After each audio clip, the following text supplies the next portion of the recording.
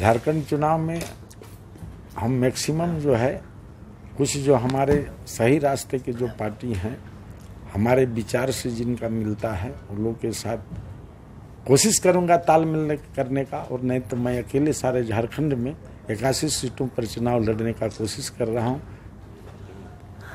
और मैं उम्मीद करता हूँ कि जन जन तक हम लोग जाएँगे। जैसे हमारे भानु प्रताप जी ने बोले कि मैंने ईवीएम में गड़बड़ी है हमको भी ये लगता है लग इसीलिए मैं भी सरकार से आग्रह करूँगा। भानु प्रताप शाही इनके बारे में बात नन्ना से हैं। अच्छा इनके बारे में से- हाँ। उन्होंने कहा कि गड़बड़ी है तो मुझे भी कुछ ऐसा लगता है लेकिन मैं तह तक नहीं गया हूँ। लेकिन ये है गड़बड़ी तो है कहीं कुछ हमको भी आभास लगा है।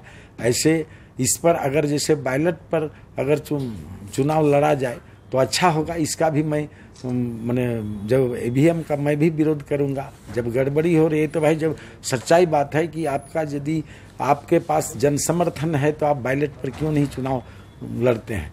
और ये ईवीएम में गड़बड़ी है, ये जैसे जैसे बात बोले, मैं भी कुछ देखा कि कुछ गड़बड़ी तो है, और ये सीटें इसी तरह, इसी दम पर ही अपना दावा भी ठोंकती है।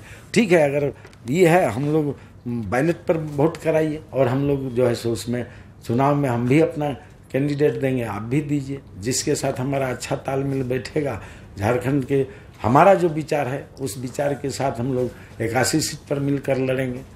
और जो भी गड़बड़ियाँ हैं, उसको हम लोग दूर करने का कोशिश करेंगे। झारखंड में जो भी समस्याएँ हैं, आज उन्नीस साल बीतने के बाद भी जो है सो झारखंड का जो सही रूप में जो जिस आशा से झारखंड को बनाया गया था, वह झारखंड का रूप नहीं रहा।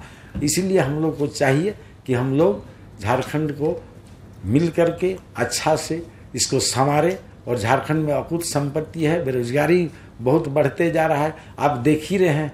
यहाँ तो सबसे बड़ा तो ज़मीन का जो आज तक ज़मीन का जो घोटाला है, ये तो झारखंड में सबसे बढ़ के है। और सबसे ज़्यादा लोगों को लड़ाने का काम बड़े बड़े बिल्डर लोग आते हैं बड़े बड़े पूंजीपति लोग आते हैं, आकर बेरोजगारी का दूर करेंगे, यहाँ के झारखंडियों को लड़ाने का शुरू कर देते हैं। इसलिए हम लोग चाहेंगे कि ये चीज़ हो। झारखंडी लड़े नहीं। झारखंड का अगर सही रूप में इसका यूज़ किया जाए तो बहुत विकास करेगा। ऐसा राज्य विश्व में नहीं होगा। ये ये जो सपना हमारे झारखंड के आंदोलनकारियों का जो है, वो आंदोलनकारी का जो सपना था, वह होना चाहिए। अभी आंदोलनकारियों का भी बहुत जो सही आंदोलनकारी हैं, उसको कोई सम्मान नहीं मिल रहा है। ये भी मिलना चाहिए। ये भी हम लोग सरकार से इसका भी मैंने ये करेंगे, प्रदर्शन जो भी करेंगे, सरकार को लिखित देंगे, सरकार को घेरेंगे। अरे सरकार में आने के बाद तो चाहिए ना भाई, हम उचित करना चाहिए। अभी की अभी की जो सरकारें होती है ना, इसका ध्यान रहता है कि हमको किसने वोट दिया, कौन नहीं दिया। पहले की सरकारें थी कि, भाई, वहाँ हमको क्यों नहीं वोट मिला? ये विचार होता था। अभी तो मैंने अपना तो मैंने नहीं देख रहे हैं। ब- जो है, पार्टी जितनी पार्टियाँ हैं, वंशवाद पर चल रही